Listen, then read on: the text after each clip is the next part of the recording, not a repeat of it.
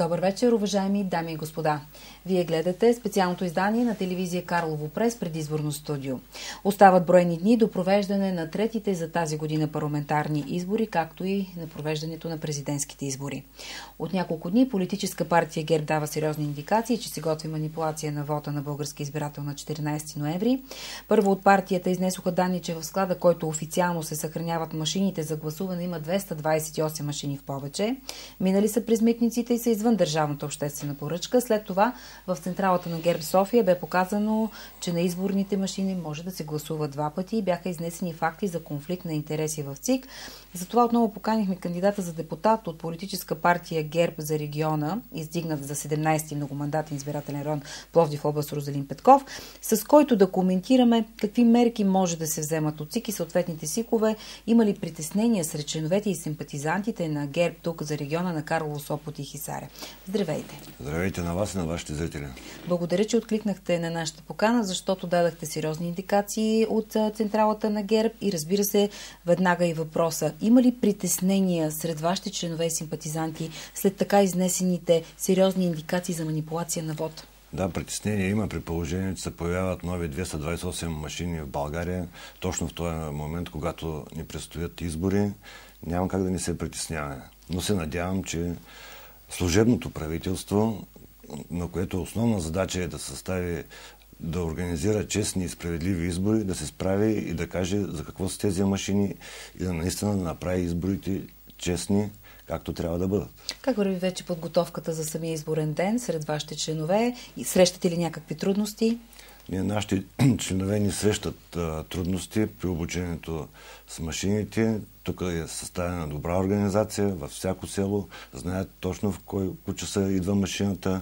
Кметовете съобщават на хората, който иска отива и се обучава някакви въпроси, които поставят на вашето внимание. Тук вече говорим нали, не само свързани с самия ден и провеждане на вота, а и като цяло как бихте обобщили исканията на хората? Какво очакват от следващото правителство? От следващото правителство хората се надяват на много неща, най-вече да се нормализират цените на стоките и услугите и цената на тока естествено. Как гледате на всички тези предизборни обещания, които чухме от конкурентите, от политическа а, така, коалиция Демократична България обединение, както от коалиция БСП за България за първите 100 дни на управление? Всички тези мерки звучат ли реално? Ами да ви кажа, не съм запознат с а, техните мнения и становища, тъй като аз съм сред а, моите съграждани разговарям с тях и не се интересувам от другите политически послания. Питат ли ви какво ще направите, ако ви бъде гласувано доверието, имате възможност отново да управлявате, например, с тези високи цени на ток? Да, най-много това ги вълнува и аз им обяснявам, че трябва да има едно редовно правителство, едно работещо народно събрание, което да предприеме закони и правителството да вземе мерки, да регулира и да цената на тока, да прекрати спекулацията, която се извършва на енергийната борса. Подозирате ли, че всички тези кризи, за които говорихме и в предното предаване с вас, са изкуствени за България? Създадени и могат да бъдат просто, решени? Да, просто не могат да бъдат овладяни, защото това временно правителство, служебното, говоря за него, е с малък капацитет и не може да се справя отделно и няма и действащо народно събрание, което да променя закони и да е в помощ на това служебно правителство. Сега към няколко въпроси, които са свързани с трудностите в изборния ден. Очаквате ли такива трудности, най-вече от ГЕРБ, имам предвид от избирателите, които да, да имат в самия изборен ден при самото гласуване? Например, проведахте ли на практика как точно става гласуването в отделни населени, малки населени места, сред по-възрастните хора? Да, по-възрастните хора се затрудняват но основната част от нашите избиратели са културни, интелигентни хора и се справят много добре. Тоест, ви нямате притеснение тук за региона, че това, което се случва с тези съмнения, очаквате ли, че ще отблъсне хората и няма да отидат да упражнят своя вод? А, хората по принцип са уморени от избори. Това са трети и слава Богу, ще са и последни за тази година. А, наистина са уморени от избори, но смятам, че те ще излезнат и ще гласуват. Преди политическите въпроси, няколко свързани с, както говорим, за дълбоучаващата се криза, има ли вече блокирани отрасли в областта? Имате ли такава информация? в областта нямам такава информация. Има спрели предприятия от енер... предприятия, които са в машиностроението и имат енергоемки мощности. Някои предприятия предпочитат да спрат, да не плащат ток. Някои ресторанти в ресторантьорския бранш също затварят врати, понеже са объркани, не знаят какво да правят, как да тези зелени сертификати срещат трудности. Тоест, COVID-кризата, съчетание с економическата криза са предпоставки, заради които да затворят, да спрат своята производствена дейност. А от ГЕРБ какво предлагате в тази посока? Нека отново да кажем.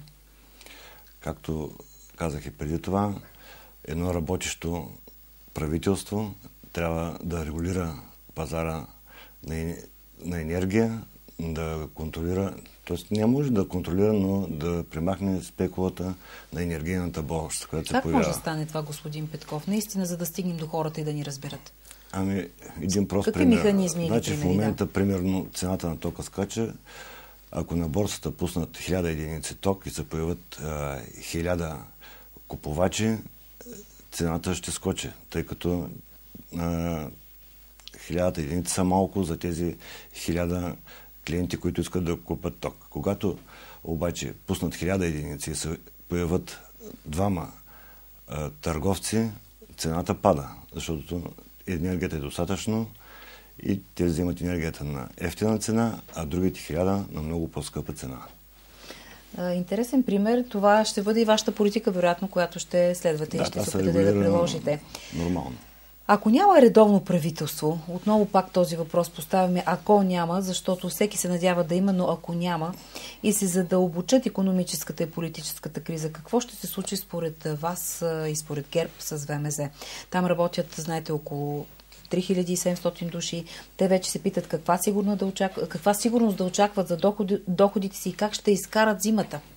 Аз гледам позитивно на нещата и затова участвам в тази кампания и ще работя да има действащо правителство, което да регулира нещата, да примахне инфлацията и да не се притесняват хората за нищо. А, ако няма време, ако няма правителство, не само ВМЗ, а всички ние ще чака много тежка зима.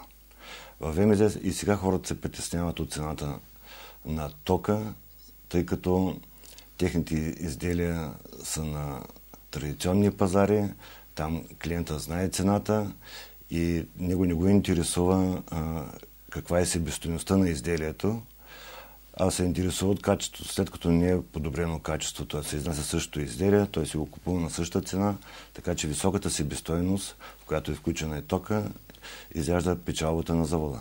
А как се обяснявате, през последните дни се тегли от служебното правителство нов дълг? Милиарди левове. Да, по принцип имат право. Те имат право, но знаете ли вече за какво са?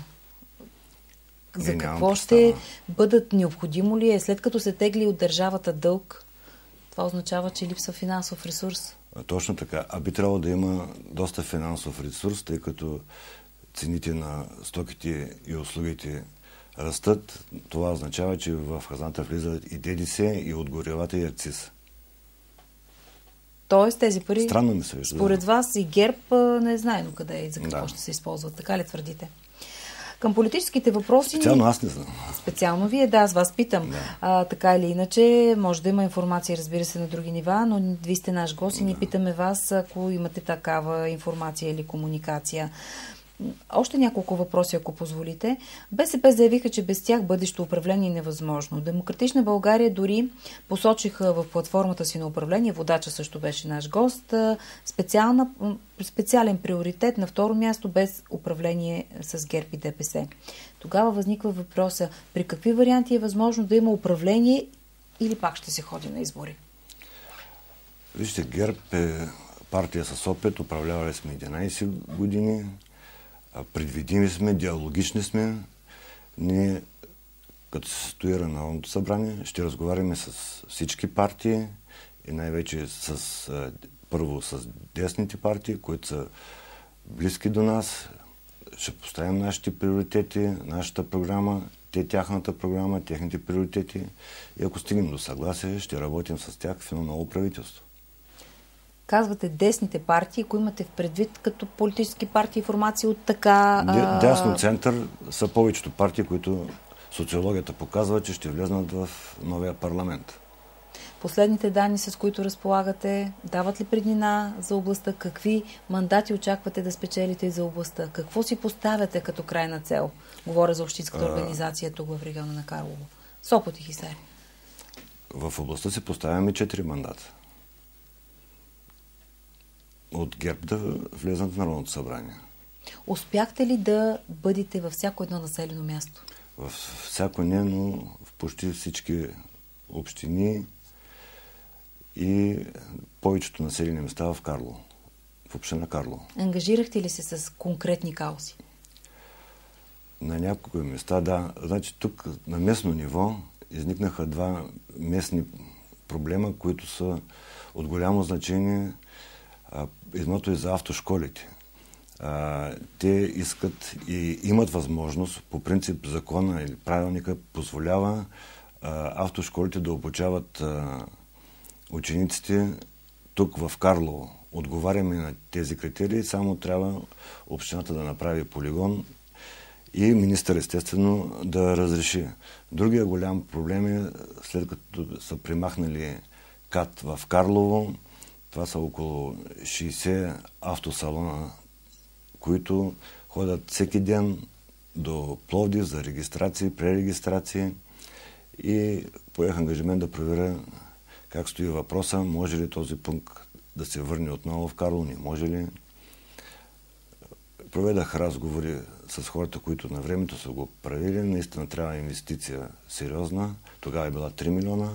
Трябва да има и територия, земя. И също министъра на вътрешните работи с негово разрешение става това нещо. Но дали ще стане ти първа, ще видим. Как очаквате да премини изборния ден в региона на Карлово, Сопот и Хисари? Ами, мисля, че спокойно ще премине, както всеки път. Между другото... Каква и... активност очаквате от тук? Около 40-45%. Иска да добавя, че автошколите от Хисар също са на мнение, че трябва да има да се провеждат тук курсовите и изпитите в Карлово, така на тях им по-лесно да дойдат тук, отколкото в Пловдив. Тоест това, е, това са два, две, две теми, два въпроса, с които сте се ангажирал да, да като лични как, каузи. Да, да видя как стоят нещата и дали може това да стане. По принцип няма невъзможни неща, но все пак, щом до сега не се е случило, значи има нещо, което ни позволява това да става. Един а, въпрос наистина. Все пак познавате много колеги, които са кандидати за народни представители от различни политически партии и формации. Вашето мнение, господин Питков, смятате ли, че наистина политиците след тази поредна трета кампания станаха по-мъдри? Искрено се надявам, че е така. И тези всички, които са от нашия регион, ги познавам. А, даже с някой сме работили аз като областен, той като министър или замминистър. След като сме работили заедно, сигурно ще може и в Народното събрание да работим заедно. Добре, благодаря много за това участие, че отговорихте, макар и през вашата, вашия поглед с информацията, с която разполагате и на тези въпроси, които се разбира се и с национален характер. Но все пак нека да не забравяме, че ето, че е важно за нашите зрители и читатели. Коментирахте и последните дни от това как протича предизборната кампания. Наистина остават броени дни. Как ще прикарате кампанията до края на нейния завършек официално ами, до... както започнах. Сред хората ден. до петък вечерта. И последни финални думи, защо да подкрепят коалиция ГЕРБ СДС на тези избори? Защото в нас е опита, знанията, диалогични сме, както казах, предвидими и може да извадим страната от тази инфлация, от този хаос. Благодаря за това участие и успех. Аз благодаря на всички останали кандидати за народни представители, които откликнаха на нашата покана и бяха гости в това предаване, за да коментираме най-важните теми и въпроси, които стоят на дневен ред. Дадохме възможност при нас да гостуват и новите кандидати за депутати, които за първи път са издигнати на тези избори. Поканихме и местни лидери на партии и коалиции, но те прецениха, че към момента ще се въздържат от публичен коментар. Благодаря и на вас, уважаемите зрители, за това, че бяхте пред малкия екран. В неделя телевизията ще продължи да следи как протича изборния ден и ще ви информираме за избирателната активност и изобщо всичко, което се случва в самия изборен ден, както с протичането на парламентарните избори, така и с провеждането на президентските избори. Пожелавам ви хубава вечер и до нови срещи, дами и господа. Купуването и продаването на гласове е престъпление.